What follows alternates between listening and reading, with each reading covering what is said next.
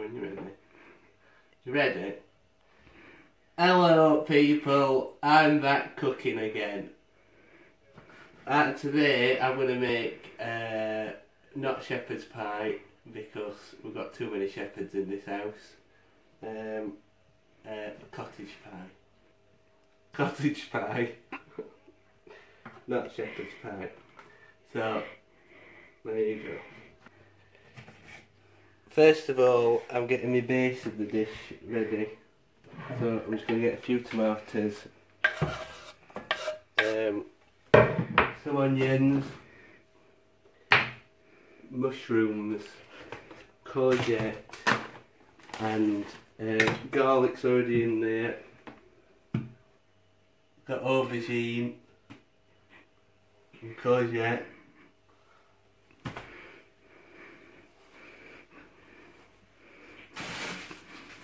Probably And carrots. Probably use that one. Green garlic. So you could use green garlic rather than normal garlic if anybody's ever seen that. It's just a little bit like more of a spicy flavour.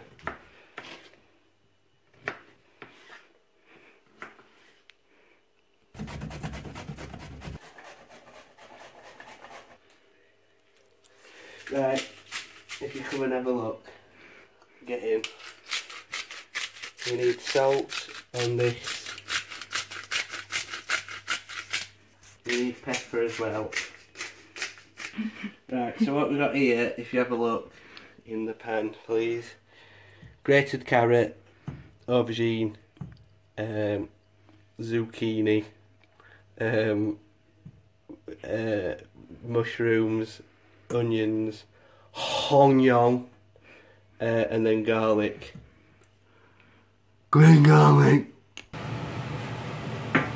So you could leave it at that and just have a vegetarian version. Or you can have meat like to do. Right, I'm going to add a little bit of red wine. Well, I've already added some and you missed it. Um, just to deglaze the pan because the uh, as you can see there's a little bit of glaze on the bottom where I'm cooking. I'm going to add the mince now. And watch out for the meat nappy. Because that will get in your way. Um, Angus, Aberdeen Angus beef rather than any sort of other beef. I've used lean beef just to make sure it's nice and healthy.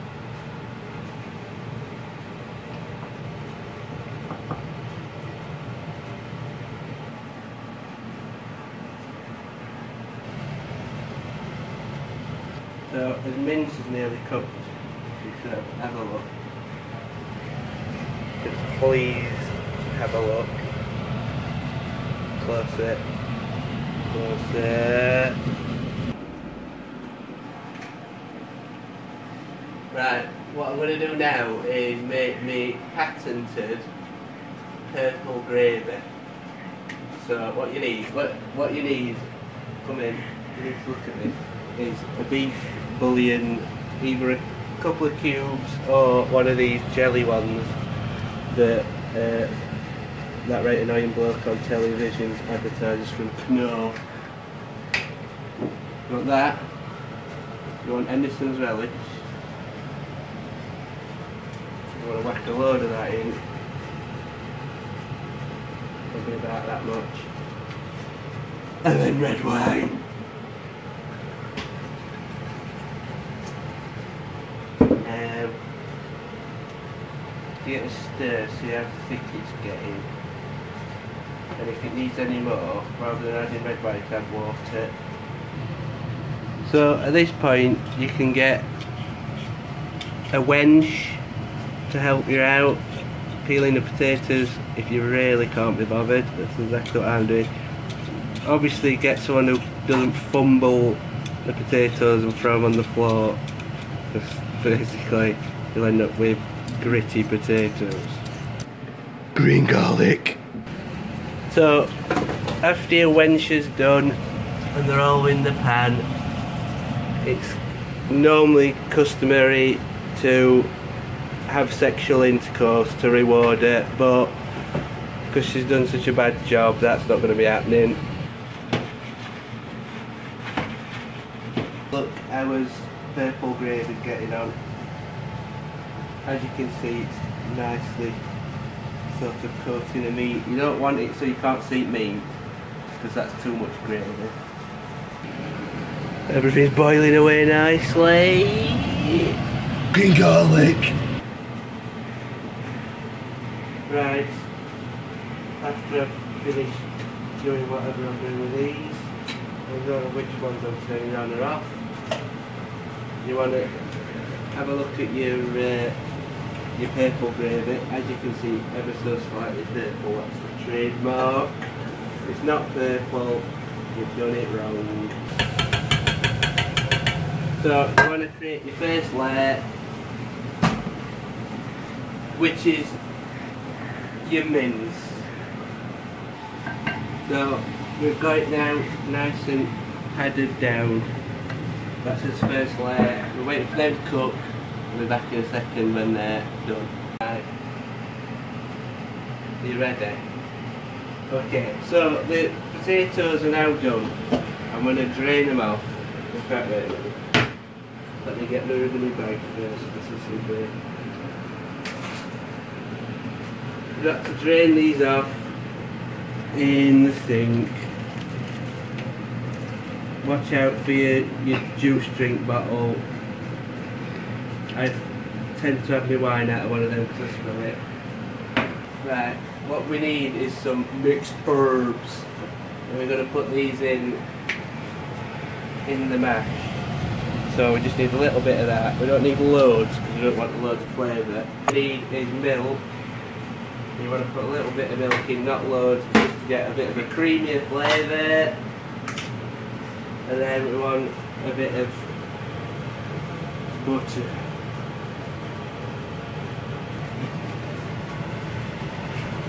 Comes the clever bit. You use a whisk or my missus swears by using a, um, a blender, but it ends up looking like soup or custard. So use a whisk and get in there. If you're doing this and it feels too hard and it don't break down, that's because you're not cutting your potatoes enough. Because you're a massive Turk and I'll come back in a second once I've whisked these up properly. Oh, coming over edge. Come in.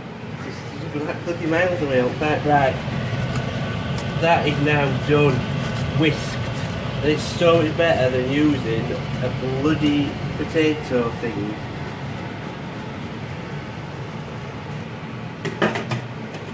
Like this. I'm going to get all this out into the, the second layer.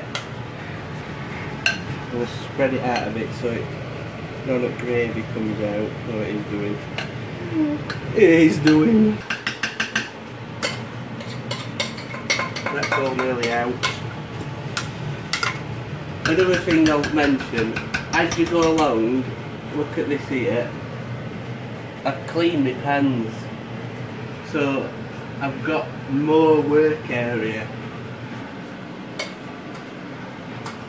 If you don't clean your pans out and you leave them until next day, it's 10 times harder to clean.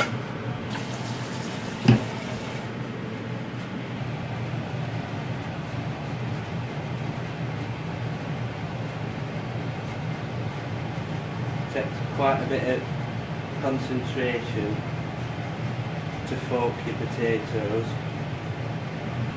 I forgot to turn the oven on. Turn your oven on. Make sure it's at a level that's going to accept the massive load.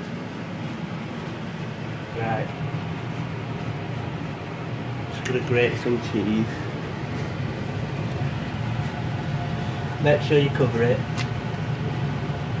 or else it'll get cold.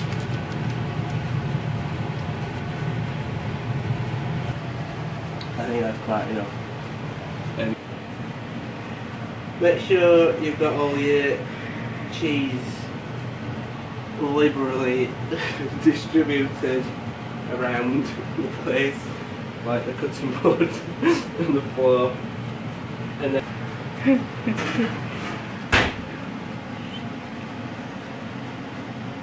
One, two, one. Going on.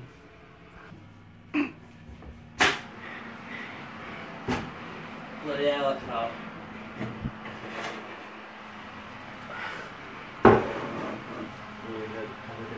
spillage. As you can see, there it is done. Right, we're going to have a go at plating it up. Have To dig in. Scoop it out. Oh god, I don't know if I can do this at the same time. Oh!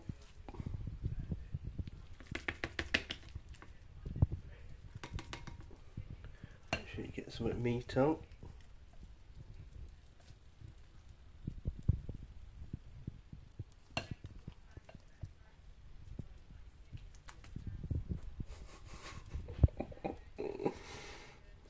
Get another scoop. This one will be mine. See, it looks absolutely huge. Oh, I've lost half of it. Bloody hell. That's always the problem. There's a second one. There you go. And there we have it. We've got cottage pie my way with extra garlic.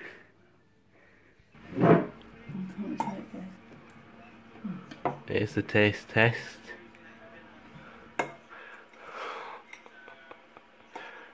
You've had some already, what were it like? So, thank you for watching. Uh, hope you enjoyed it.